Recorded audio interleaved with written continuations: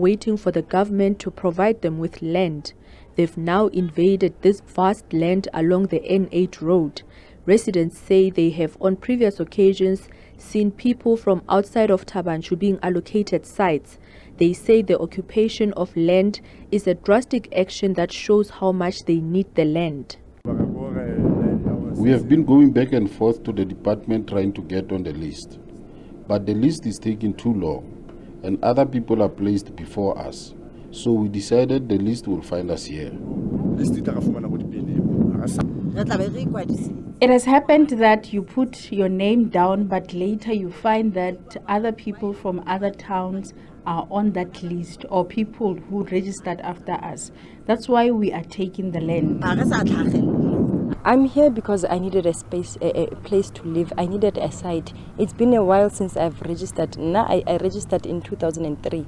A community activist says everyone who had identified a site will be placed on a list that will be given to the Department of Housing in the Mangaung Metro. We are now taking names of everyone here so that when the Department of Housing in the municipality comes, it will know who is on the list. We do not want people who already have sites to occupy space that someone else could take. The EFF in Mangaung says what the residents are doing is the expropriation of land. The party says it supports the action of the community. As the EFF, we are now putting our first cardinal pillar, which is the expropriation of land without compensation. Our people don't have land, and land is dignity.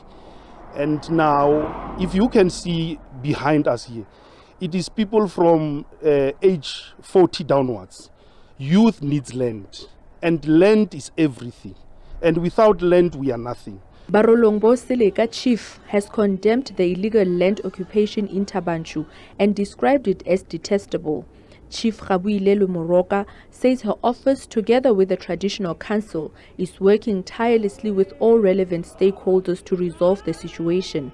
This includes the occupiers, the municipality, government and the police. The land in front of the Barolong Cultural Village was also invaded last year. Kamogelo Seekoei, SABC News, Thaba Nchu.